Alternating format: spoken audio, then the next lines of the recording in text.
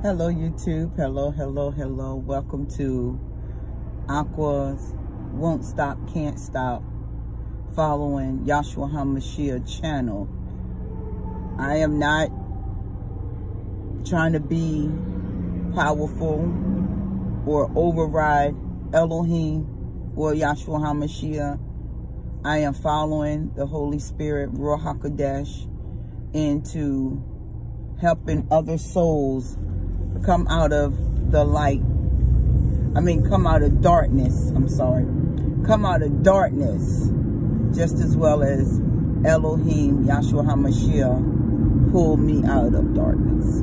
So I'm not up here to condemn, judge. I, I don't even, I can't even stand a judgmental person. I can't even stand, and I'm not saying person as the soul, that spiritual being that is flowing through that soul. See, that dark being that's flowing through their soul makes them have the personality and the characteristics of a demon. When you do things that is against the commandment, and we all have, we all have, we all have carried demons, some still carrying demons, the ones that's been pulled out of light, we have to repent and pray every day just as well. So we will not go back on that broad road, period. That is just completely it. We have to stand strong in the faith. We have to stand strong in the faith. Yes, the flesh is going to war against the spirit because if you've been feeding your flesh, which we all have, sin on a regular basis. And when you come out and try to walk with Yahshua HaMashiach, aka Jesus Christ, guess what?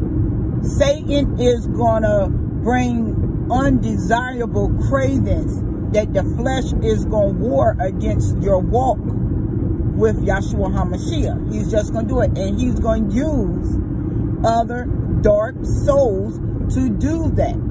Some people is not going to make it some and it's so sad to say this.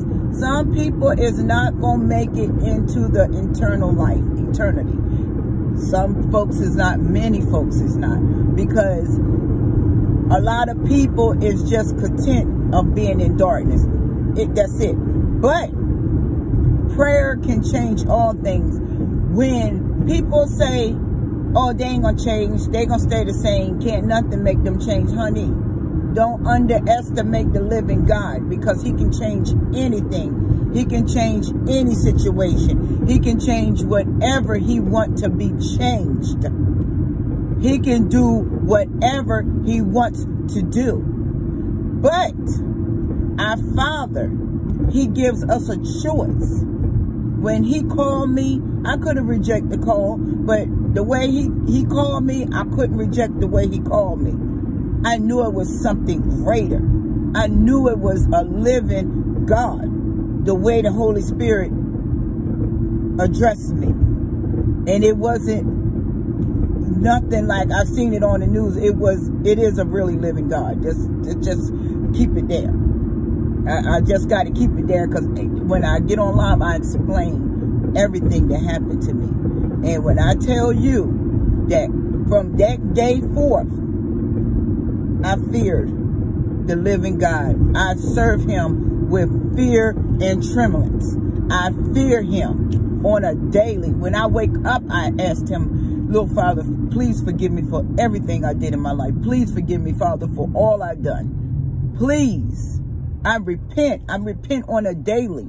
I repent in when I go to bed. I repent when I wake up because there is a true living God, regardless if you got scoffers or not. They tell you it is not so. And the only reason why they're saying it's not so because they have not even tried to encounter, not even tried to seek, not even tried to be obedient to the Almighty Father. They allow Satan come on in, use them to do whatever they feel that is negative towards any other soul. Their hearts is like an ice cube that's just constantly in the freezer.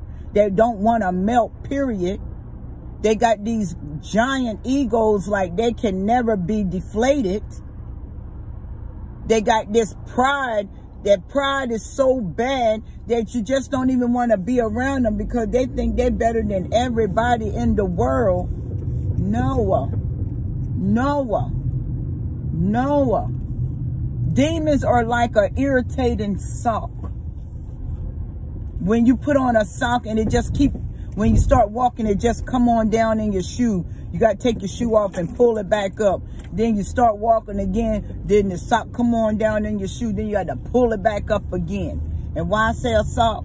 Because I just want to constantly step on his face in the spiritual realm. Every day I wake up, I tell him, you got to wake up too. He will put you through, I mean, hell and high waters.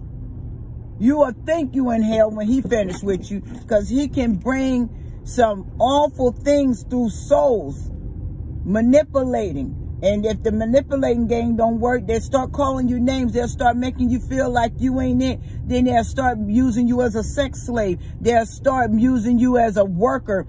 See how Satan works he wants, he gets you to take care of those souls while they give you, I mean, dark advice, tear you down, lift you up a little, tear you back down, lift you up a little, tear you back down. And before you know it, your whole house is in uh, uproar. You thought a whole tornado came in there in the spiritual realm. Because someone in the home got to be strong. If you're a single mother with children, you got to be grounded and rooted in the word of God. That's the only way your home is going to come in place. That's the only way you're going to re uh, re back arrange your rearranged furniture. Because you got to go on your knees in your secret closet and put prayer in, put fasting in. Because you're not going to be able to be around your children 24-7 because you got to work. You got to put food on the table for these children. But prayer changed everything. You got to get on your knees. You got to fast. You got to pray. You got to be grounded and rooted in the word of God. You don't, you can't run to your pastor for everything. Your pastor just cannot fix everything.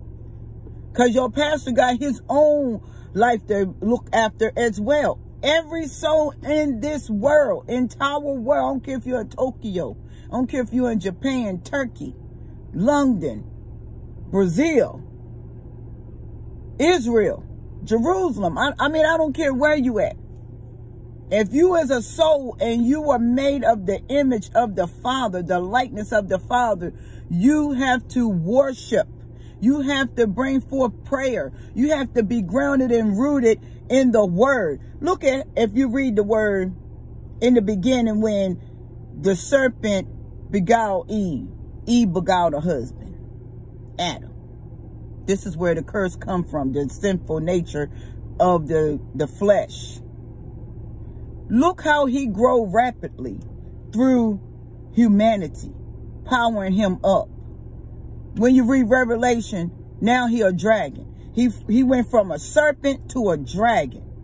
That's a lot of power that humanity give someone that didn't even create us. Us. One turn away, here go another one giving them power. That one turn away, here go another one. We got to get on one accord with each other. Men are the stronger vessel. Men. The word speaks about men. Women are spoken about, but the things the Father said about women is just it, it's just embarrassing. Harlots. Women laden with divers lust, silly. It's a silly. Silly. Using the body to draw in your prey. Using your good looks, your eyelashes, your makeup to draw in the prey using long weaved hair to draw in your prey, gluing on hair, sewing in hair, braiding in hair, putting on eyelashes, lipstick, a whole bunch of jewelry, a whole bunch of tight clothes, a whole bunch of everything. This is what makes lust roar high. Lust is like one of the highest charts. If you ain't having it that way, you're looking on the internet. Masturbation, pornos, sites that draw in little, uh, little young girls and boys. Boys are now a target for predators. Been a target in the Catholic Church. Been a target. Them pastors had to get castrated. And I used to look at these videos when I was a young child. I used to look at some serious stuff when I was a young, I used to walk these spiritual realms, didn't know it. And I used to always have questions, but I used to get shut out because of my questions. My research. You dumb, you stupid, you don't know what you're talking about, you're ignorant. This, these are the words I used to hear a lot from loved ones. But now that I can see, now guess what? They are they are they are around me. They no one's around me. Cause I call them out. See what I knew in the past and what I went through in the past. Now that I'm awakening and I have the authority, the permission, not the commandment. I am I did not make commandments. The Father give me permission to speak. I speak. And I speak truth. I'm not speaking nothing to kill you. I'm speaking to, to kill them demonic spirits that is attached to you that has been planted in you from childhood to adulthood. We all have. I was just one that reject anything that didn't feel good. Parentship, I didn't have one, but I, they came, they, the father let me live. He let me come on through, rather I was taken care or not. I forgive him. When my father, he's dead, so I forgive him. I didn't even know him, but I forgive him. My mother's still living, I forgive her. But guess what? Truth is truth. I barely know my siblings, but I know that they're my siblings. We knew we grew up a little bit together.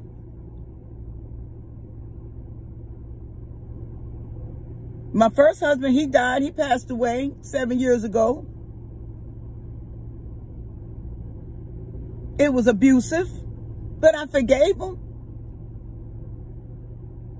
It's just what it was. I don't even call my second marriage a marriage because we didn't even stay married seven months. That was a whole gimmick. And he was already, he already had a, a living wife. I don't care how many times you get married. If they still got that first living wife, you got to break ship because you're in adultery with them. And our marriage was nothing but a game. It was just a whole game. Because it was over.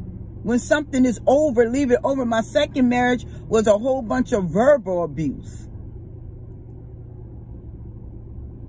And we stayed, we went together for five years. Then we end up wanting to get married after all the damage was done because that's what a lot of people do. You want to get married after damage is done because you want to cling on or have some type of soul tie with that person that you know is good or great a lot of people mess up a lot of things because you are stuck to a demonic spirit.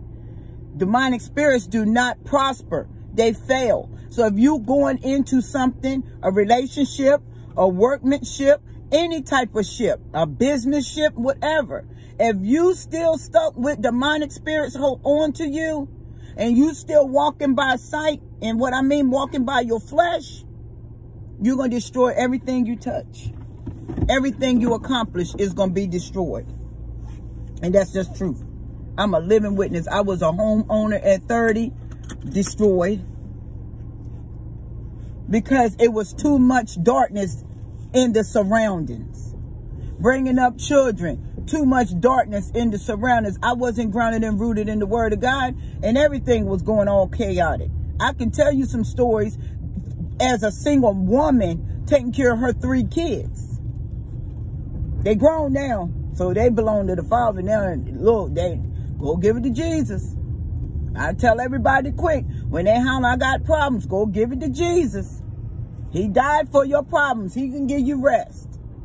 Now, if they want to talk to me, I'm a great mother and support. But my kids live by themselves. Each one separated. I live alone. I am not a mother that sit there and I got two sons. One is incarcerated and one up in the streets.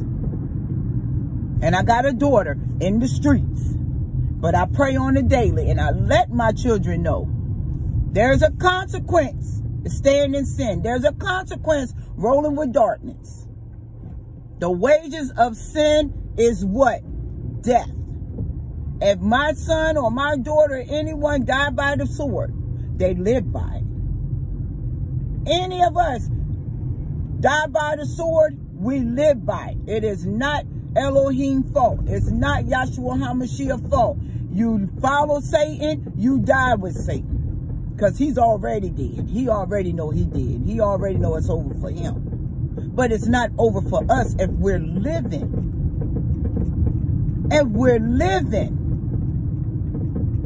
As Jesus said, the blind lead the blind. You will fall in the ditch. Luke 6, chapter Luke 6. Why would I be with somebody that's just the same way as me? We both pull in the same way. We can't help each other because we on one accord. That's why the Father called us to go out here and help the uh, broken sheep in the midst of wolves. And I called Satan and his friends the wolves, eating up the lost sheep. We all were lost sheep know the difference about the gospel. Stop allowing these leaders from taking the gospel and using it to manipulate you and to intimidate you. Read the word for yourself.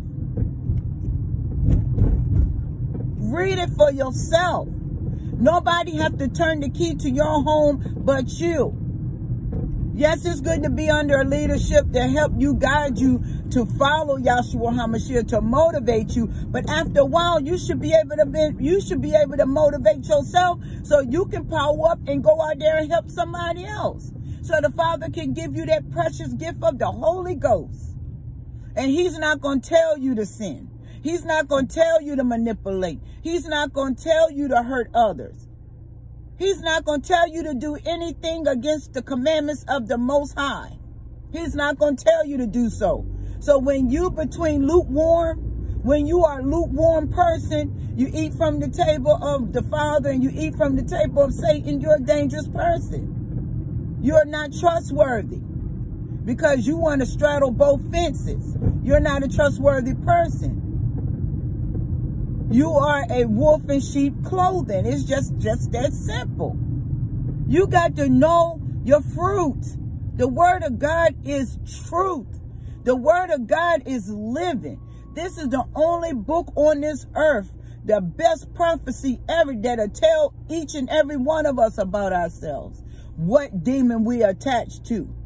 What demon we need to be redeemed from. But see, Satan want to stop you from reading the word. Satan want to stop you from uh, proceeding to the light. Satan want to stop you from doing anything that the Almighty Father called you to do. Because you know why? He's already dead. He's just trying to pull you in so you can die too. Bad enough, he got us, he had the ones that, well, I once was dead in the world crying every day, broken hearted, cut all the way to the core. I mean, a lot of them left me for dead. But guess what? The Father said, not that one. You won't hurt that one. I've been in some serious situations doing to my great heart. Doing an eye for an eye, a tooth for a tooth. It wasn't getting me nowhere. But broken again. And I got chastised quick when I sin. I was like, why I get chastised quick when I do something sinful? Because I was chosen. The Father knew when it was time to call me. I didn't reject that call. I dropped everything. House, job, everything. He says, oh, you got to leave it all and follow me. This is what you want to do. I sure. You done showed me you really, you are really real living God upstairs. What else can I do? I can't deny and I can't turn away from what in what I encountered. with the Holy Spirit, it's real and it's truth. The word is real and it's true. And yes, it's going to be very, very hard to discipline that flesh and kill that body. And what I mean, your body feeding your flesh all those dark,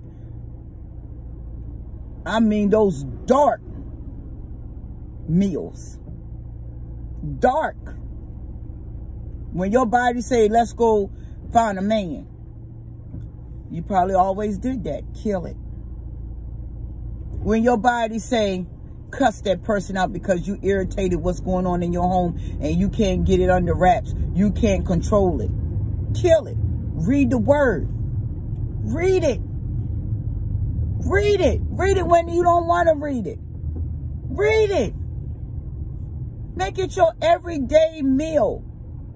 Read it. You will be amazed what's in there. Don't be afraid. If Satan said the Father don't love you, he love you with everything he got. He want the brokenhearted.